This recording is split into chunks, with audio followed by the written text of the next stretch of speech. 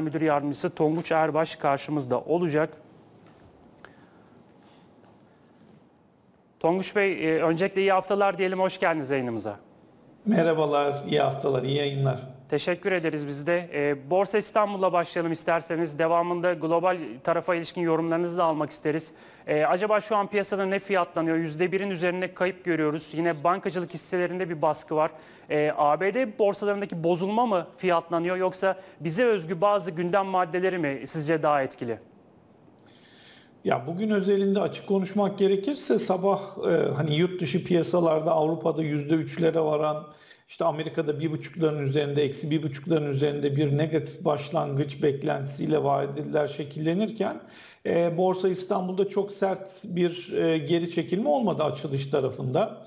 E, fakat sonrasında e, hani sorunuza istinaden yani bizden mi kaynaklı, yurt dışından mı kaynaklı diye baktığımızda özellikle doların dünya piyasalarında güçlendiği e, ve aslında pandeminin e, başlangıcında o gördüğümüz risk algısında tekrar dolara doğru bir yönelişin olduğu e, bir dönem gibi gün içerisinde de fiyatlamalar oldu. Dolayısıyla hem dünya piyasalarında bir risk algısında negatife dönüş var hem bundan kaynaklı bir Amerikan dolarına doğru bir yöneliş var. Dolayısıyla Borsa İstanbul'da da e, yani o biraz daha soğukkanlı başlangıç işte 1100 e, seviyelerine e, üzerindeki devam eden seans son 1 saat 1,5 saat içerisinde biraz daha dünya piyasalarına ayak uydurmaya başladı. Ee, bir nebze sizin söylediğiniz gibi yine bankacılık tarafında bizim hep gördüğümüz işte haftalık bazda da aslında e, yabancı çıkışının giderek azaldığına da şahit olsak e, bir nebze olsun o tarafta da e, satışların devam ettiğini gördüğümüz bir endeksimiz var. Yine aynısı aslında bankacılık tarafında bir nebze büyük hisse senetlerinde bu satışların geldiğini gördük. Doğal olarak bu hisse senetlerinde 2-3 kademe aşağı doğru bir e, satış dalgası gördüğümüzde de endeksin zaten işte 1100'de tutunmaya çalışmaya doğru e, aşağı doğru bir %1'e yakın bazen üstüne çıkan bir negatif tavrı var. Ben bunu e, açık konuşmak gerekirse yani yurt dışı çok net bir bozulma sergilemeseydi e, o zaman e, endekste de çok e, net bir aşağı doğru kırılım olmayacak gibi sabah bir görüntü vardı. Tamamen yurt dışına bağlı gibi geliyor. Yurt dışını e, ne negatife çeviriyor sorusu ise aslında bir süredir e, işte biz teknoloji hisseleri dedik. Bir nebze Amerikan seçimleri e, olabilir. İşte e, global anlamda aşı bulundu, bulunacak falan derken tekrardan bir e, hani sosyal o bazı ortamların e, işte kış sezonuna girerken e, belki kısmi kapamalara ekonomilerde biraz daha e, hizmet sektörünü zorlayıcı bir e, aşamaya geldiği bir dünya döngüsü var. Yani tekrardan bir pandemi etkisi konuşulmaya başlandı. E, varlık fiyatları da özellikle hisse senedinde çok yüksek seviyelerde seyretmesi e, ben kar satışları getirdiğini düşünüyorum. Bazı teknik seviyelerin altında kalmaya devam eden bazı endekslerde özellikle işte S&P'de 3400 gibi e, belki DAX'ta 13000 seviyesi konuşulabilir. E, teknoloji, e, pandemi ve bir de teknik düzeltmeyi üstüne koyduğunuzda e, bir kar realizasyonu yaşanıyor. E, dolayısıyla büyük borsalarda bu hareket olunca da yani Borsa İstanbul hangi seviyede olursa olsun bu tarafa da bir satış dalgası şu an için gelmiş gibi gözüküyor. Diğer yandan tabii bu hafta TL varlıklar için belki de en önemli gündem maddesi 24 Eylül'deki Merkez Bankası toplantısı. E, son dönemde tabii fonlama maliyeti yükselmeye devam etti. Temmuz ayının ortasından beri likidite politikasındaki adımlarla Merkez Bankası bir sıkılaştırma yaptı ve Cuma günü itibariyle fonlama maliyetinin %10.39 olarak gerçekleştiğini gördük. Eylül ayı beklenti anketine de baktığımızda piyasanın e, ortalama fonlama maliyetine ilişkin e, ay sonundaki beklentisi %10.58 olarak görünüyor. Yani piyasa katılımcıları aslında fonlama maliyetinde hala yükseliş bekliyor. Tam bu çerçevede bakacak olursak acaba Merkez Bankası yine likidite adımlarıyla mı sıkılaştırma yapar yoksa açıktan açık biçimde faizlerde de bir değişim görebilir miyiz? Sizin beklentiniz ne yönde acaba? Ya aslında bizim anket tarafında e, biz bir nebze e, faizleri yukarı doğru gidebileceği yani 50 bas puanlık bir artış olabileceğini düşünüyoruz. E, şu, şunu Merkez Bankası tarafında kestirmek çok güç.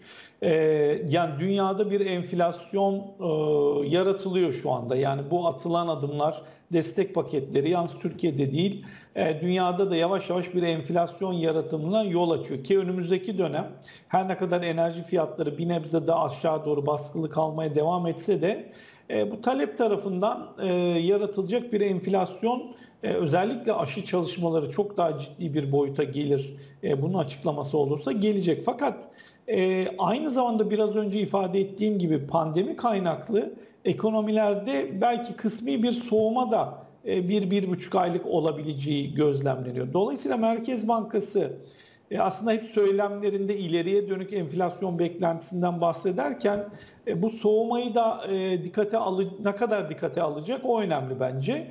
E, yoksa normal koşullarda işte %12'ye yakın bir enflasyon e, yavaş yavaş çekirdek ve üretici fiyatlarının da enflasyonu yukarı doğru çektiği yani kalıcı bir enflasyon belki çift haneli rakamlarda bu seviyeye doğru geldiğimiz bir ortamda sizin söylediğiniz gibi de çift haneli bir fonlama maliyeti de e, piyasada gerçekleşirken yani normalde bu 150 bas puanlık fonlama maliyetinin üstündeki üst bant ve geç likitteyi belki 200 bant 200 bazlık bir bant içinde değerlendirip faiz de belli bir noktada işte 9'a doğru çekmesi e, hem bizim enflasyon hedefi olan 8.90 şu anki e, hem de nispeten o soğumayı görebileceği alana, tarihe doğru e, biraz da önden hep yüklemeli faiz indirimi oluyordu. Getirebileceği bir e, toplantı olabilir Perşembe günü. Ama emin olamadığımız şey e, yani bu soğumanın Merkez Bankası tarafından zaten enerji fiyatları aşağı geliyor.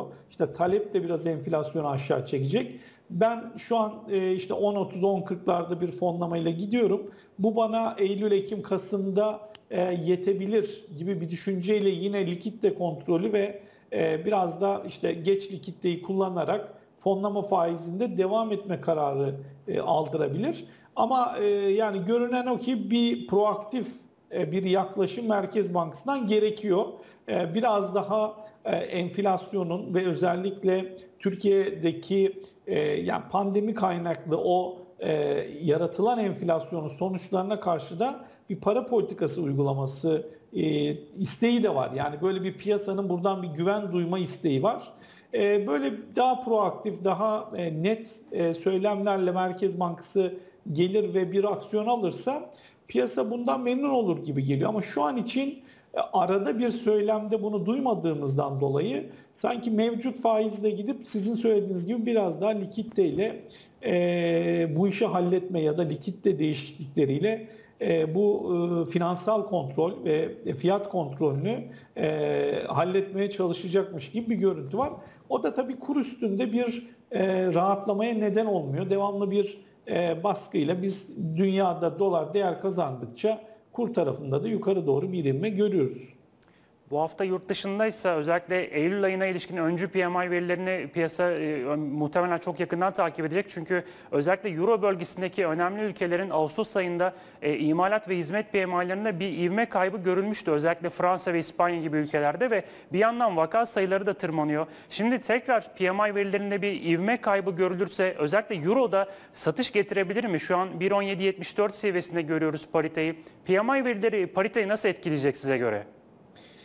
Şimdi PMI verisinden ziyade paritede belki tabii e, yani bir zayıflama iki ay üst üste gelirse Euro bölgesi içinde bir e, sıkıntılı süreç en azından e, o hızlı yükselişin bir geri çekilmesi olarak karşımıza çıkabilir. Ama özellikle dolara karşı olan ürünlerde yani bu altın içinde geçerli, parite içinde geçerli hatta sterlin içinde birçok para birimini de buna ekleyebiliriz e, o 1.0775'ten e, euro doların başladığı e, yükseliş trendi ve 1.20'lere doğru gittiğimiz yerden şu an için o trendin altındayız. Yani özellikle 1.18.30, 1.18.50 seviyeleri altında kaldığımız sürece de üçüncü günü yaşıyoruz. Böyle bir zayıflama teknik olarak da gerçekleşiyor. Şimdi bugünkü endeks satışları sonrası e, dolarda bu değerlenmeyi özellikle dolar endeksinde 93'lerin üzerinde kalıcılıkla devam edersek bir de üzerine e, bu işte PMI verilerinin e, Avrupa'daki o toparlanma sürecindeki zayıflığı göstermesi durumunda yani sırf para birimi üzerinden konuşuyorsak e, bir Euro'da e, değer kaybı görme şansımız olur. Bu da pariteyi belki tekrardan işte 1.17'lere belki 1.17'lerin altına doğru götürebilecek bir seviyeye doğru itebilir. Ama burada en önemli olan da Amerika'daki o seçimin hala doların değerlenmesi için yeterli bir alan bırakmaması. Dolayısıyla bu bir buçuk aylık süre bu düzeltmeler aşağı doğru olsa da bir e, hızlı yıkılmayı, hızlı geri çekilmeyi beraberinde getirmeyebilir. Sadece veri akışına istinaden bir zayıflık görebiliriz. Bu hafta Fed Başkanı'nın da ayrıca e, Temsilciler Meclisi Alt Komitesi'ne bir sunumu olacak, konuşması olacak. E, geçen hafta politika kararlarını takip etmiştik Fed'in. Şimdi Fed Başkanı Powell'ın mesajlarını izleyeceğiz ve e, ABD borsalarında satışları gördük Cuma günü. Özellikle kritik teknik seviyelerin altına geldiğini söylüyor analistler. E, tüm bu beklentiler çerçevesinde ABD borsaları nasıl bir seyir izleyebilir? Son olarak bunu soralım size. Şimdi e, Fed'in toplantısı sonrası Powell'ın açıklamalarından beri yani e, yaklaşık 3. işlem gününde olacağız bugün diyelim. E, şöyle bir durum var. O belirsizlik ve maliye politikalarına atıfta bulunan Powell şimdi bunu gidip Senato'da Temsilciler Meclisi'nde alt komitelerde tekrar aynı şekilde anlatmaya çalışacak. Dolayısıyla aslında belki ona eksik söyledik sözümüzün başında.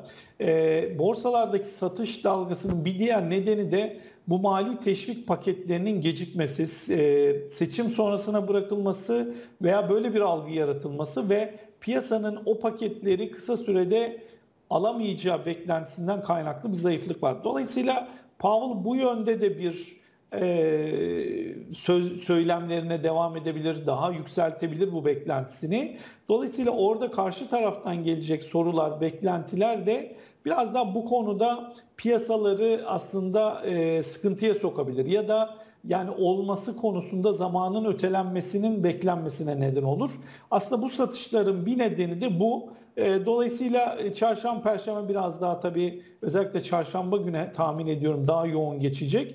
Ama salı günden başlayan bu e, görüşmelerde de ana konu e, bu pandemiyle ilgili maliye politikalarına olan ihtiyaç konusu olacak. Buradan yani böyle bir mutlu sonuç çıkarsa piyasalar toparlar. Aksi takdirde o e, negatif görüntü e, tüm hafta içerisinde de devam edebilir maalesef.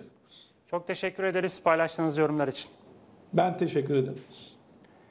Evet bu yorumlardan sonra şimdi de şirket haberleri